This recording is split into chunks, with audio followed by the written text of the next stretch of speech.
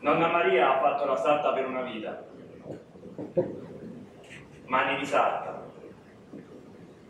Ha preso le misure di pelle e cuore di tutto il paese, nonna. Se qui ad Anagni volevi un vestito da sposa, da ballo, per qualsiasi occasione dovevi andare da Maria, da nonna. E su quei vestiti ha cucito la sua storia assieme a tutte le altre stoffe delle vite che incontrava. E mentre disegnava, cuciva e tagliava, dalla finestra accanto alla sua macchina da cucire le scorreva davanti una valle e un fiume, il Sacco, a cui tutti prendevano le misure e a cui tutti disegnavano un vestito nuovo, con un'Italia che dettava la moda e una socialia che seguiva. Eh, n'era così prima Andrea. Per nonna il mondo si però conta tutto con le stoffe che ha stretto per le mani per una vita. E così sta valle per lei prima era tutta una distesa di raso verde. I campi de grano e le vigne erano lino, fresco, e sto fiume un filo di lana, azzurro, ricamato dietro una casa, dietro un campo, dietro una macchia. Poi tutto si increspava a fare il velluto, a coste, marrone, a formare montagne, montagne, Andrea, piccole, basse, come nonna ma quello che basta a fermare il vento che arriva dal mare. E si sentiva la gente cantare. E la sera, buia mamma mia, tutta scura sta campagna, non si vedeva niente. E mo pare giorno pure la sera, con tutte luci. E da cantanza sente più. Ci hanno provato a mettere qualche pezzo. A me mi pare solo un vestito rattoppato. Un vestito deve essere tanto bello dentro quanto fuori, perché pure l'interno del vestito, io sta cosa me la ricordo sempre, pure l'interno del vestito ha la sua importanza.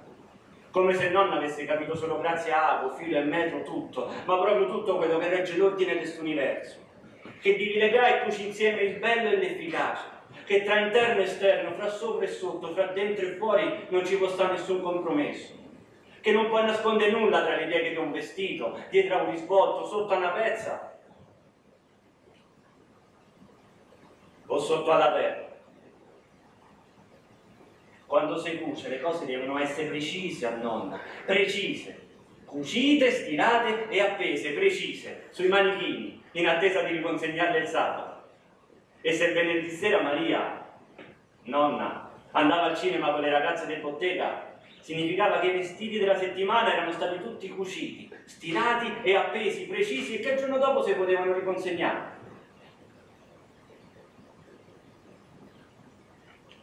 Qualche venerdì al cinema nonna non ci andava. E quelle volte sui manichini rimanevano vestiti bellissimi e incompleti. Nessuna nottata sveglia terminata. Restavano lì per giorni, settimane. Una collezione di vestiti interrotti, mai finiti, lasciati a metà, bellissimi e incompleti. Indossati solo nei sogni di chi li aveva ordinati, nei modelli disegnati da mia nonna che se la vedeva davanti a sé come il venerdì sera al cinema, la storia di quei tessuti che sarebbero diventati vestiti di qualcuno e poi i ricordi di qualcuno.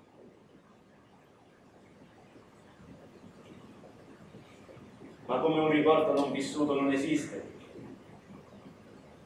un vestito mai indossato che cos'è? Niente di diverso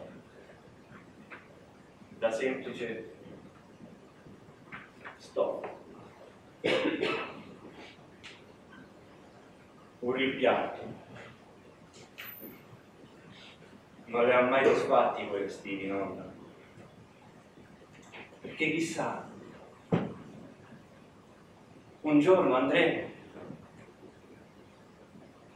magari un giorno se li verranno a riprendere.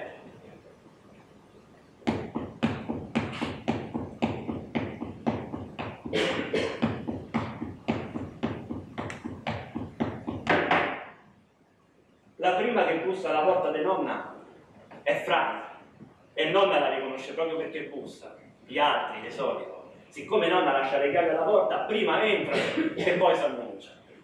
Franca e Maria, nonna, hanno in comune un atteggiamento materno verso tutto e tutti e un'eleganza che non è moderna ma mai antiquata.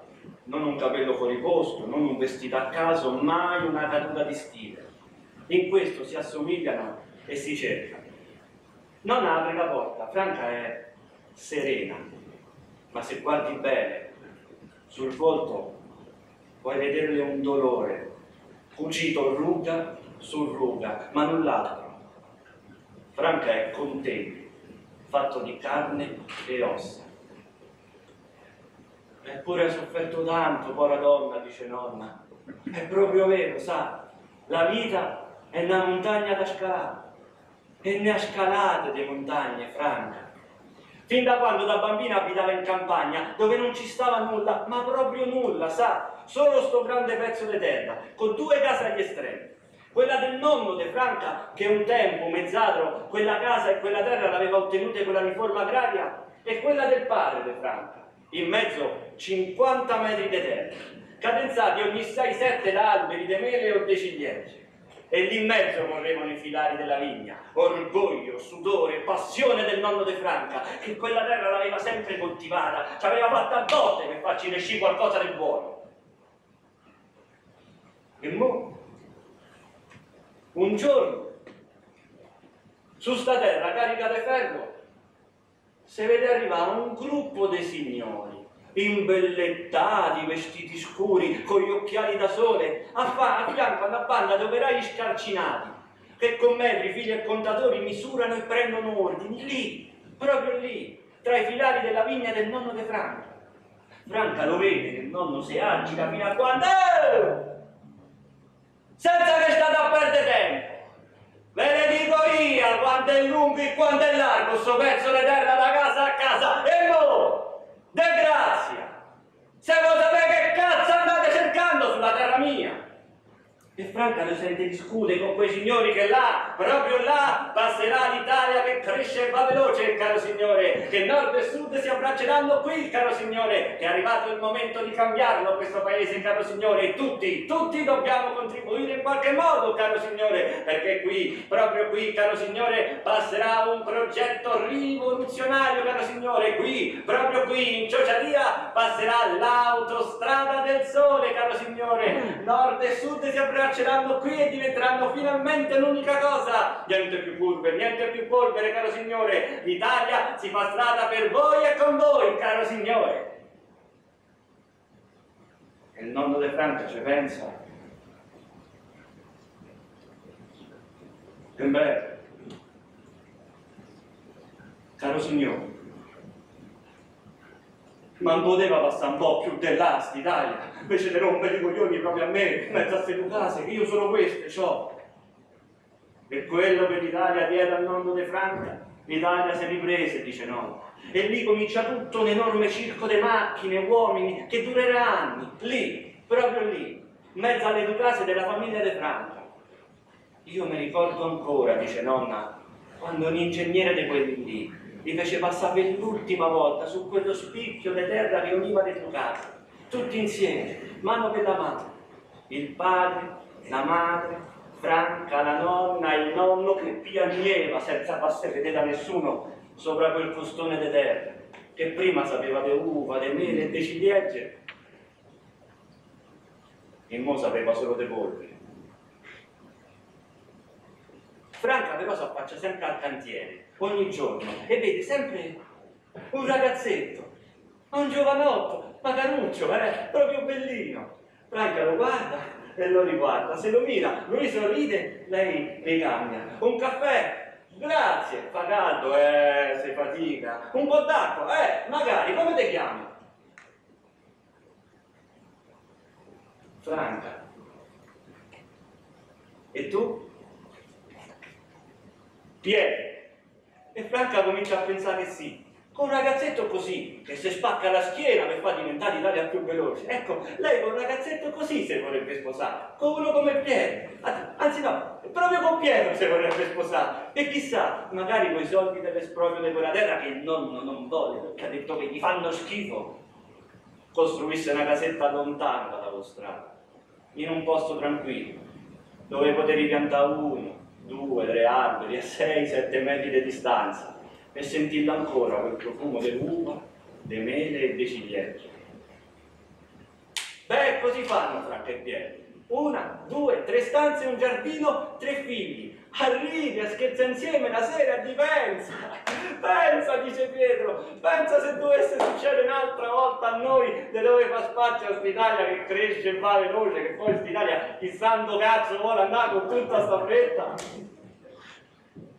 Oh e passa l'angelo e disse Amen, di nuovo l'Italia dà e l'Italia toglie. E l'angolo di quel giardino va sacrificato all'altare del progresso, a una fabbrica che a Torino faceva cavi elettrici, ma qui, ad Anagni, in Ciociaria, o la casa del mezzogiorno, vuole fare pneumatici. Perché è chiaro, Andrea, mi dice no, se tu vuoi sprecciare sull'autostrada e c'hai bisogno di macchine, e c'hai bisogno di gomme. E l'angolo del giardino va bene uno scambio, signor Pietro.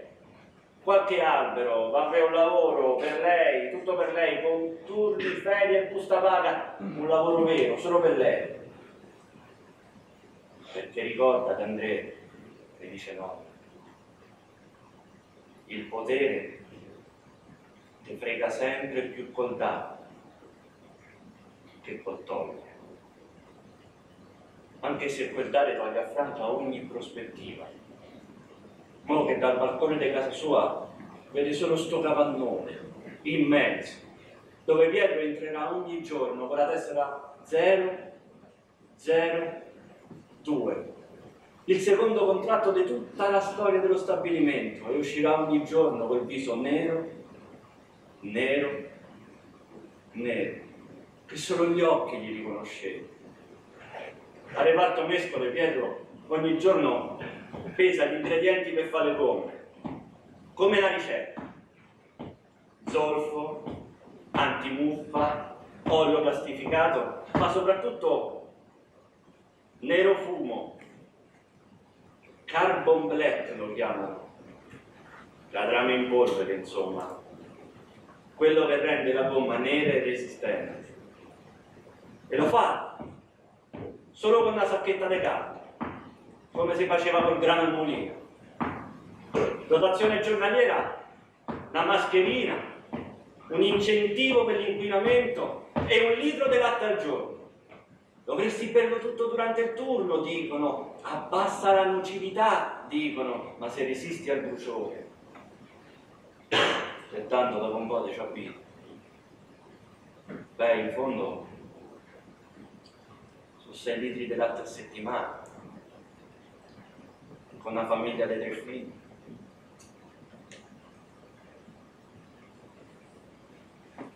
Pietro entrerà in fabbrica con la tessera 0, 0, 2. Uscirà dopo 15 anni, quando le matricole delle tessere saranno ormai al numero 1000 e lui coi polmoni in fumo quel nero fitto fitto entrato nella pelle, negli occhi, in uova, verdure e panni stesi, nell'acqua strizzata dagli stracci usati per lavare per terra, dentro i cassetti nelle case dei Pietro, dei Franco, di tutti quelli che abitavano là intorno, perché basta una folata di vento e quel nero fitto fitto si sparge tutto via.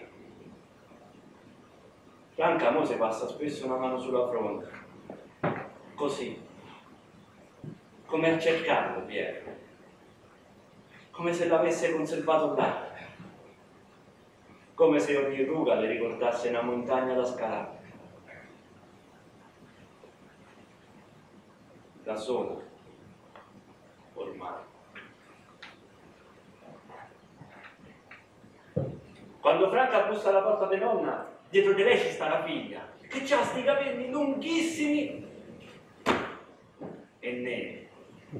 Madonna Franca, vieni, entra, mi stavo aspettando. Guarda tu, sta figlia, uguale uguale a te, pare che ti ha staccato con la. E poi tu, sempre uguale a come eri ragazzina, si è cambiata per niente. Franca e la figlia sorridono, imbarazzate, appena appena, uguali uguali. Maria, mia figlia si sposa, brava, sono contenta, però eh, dei vestiti da sposa ne abbiamo visti tanti, troppi. Ce ne fosse uno che l'abbia convinta. Poi però l'abbiamo visto No, no, in, in vetrina, Maria, sul giornale, e lo vorrebbe uguale uguale. Maria, secondo te se vuoi fare? Fammi vedere. È un vestito lunghissimo, vaporosissimo, di chiffon, con due fasce sul seno che si legano intorno al collo. Bene, a scegli ha scelto bene, eh? E lo sai che ti dico? Che tu sarai pure più bella di questa sul giornale. E non da cominciare con le misure, spalle, braccia, petto, vita, fianchi, gambe e poi dalla testa scende così, a margine al velo. E poi di nuovo disegna velocemente il vestito sulla carta modello. E Franca e la figlia lo vedono finalmente nasce sto vestito per dire sì. E la figlia dice che è tutta emozionata, che non vede l'ora, che finalmente il futuro marito ha trovato un lavoro, un lavoro vero, con turni, ferie e busta paga, tutto per lui, che si sta a mettere i soldi da parte, si stanno a costruire una casetta, piccola per il momento, ma magari un giorno bravi, così si fa, sono contenta. E dov'è che lavora? Alla fabbrica dei gomme, dove lavorava papà. Nonna si gira verso Franca che sta di nuovo a cercare scalare una montagna. Maria, la fabbrica per indennizzo offrì un posto di lavoro. Io quel lavoro non potevo farlo. Le figlie troppo piccole, il maschio aveva altri obiettivi e così. E così il ragazzo della figlia, che tanto lavorava un po' qua, un po' là, che fai Maria? Rinuncia a un posto di lavoro di sti. E mentre ero nel metro, nonna, e quando è che vi sposate? A agosto, marito, so che manca poco franca. Bella di Maria, non ti sta preoccupare. Quando ripassate ve lo faccio troppo pronto per la prima prova. E nonna fa un gesto che fa sempre. Prende la mano di Franca e la mette fra le sue. Così come una coperta. Sono proprio contenta per te. E si saluta. Mentre nonna se ne va alla macchina da cucina e comincia a imbastire i punti di questo nuovo vestito.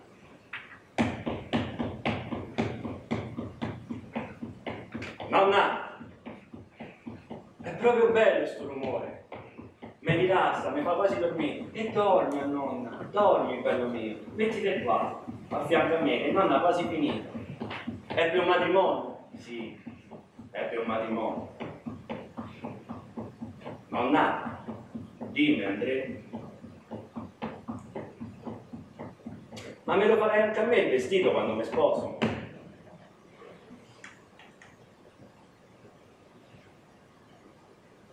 Nonna, dimmi, dimmi. Guarda che io mi metterò solo un vestito fatto da te, eh.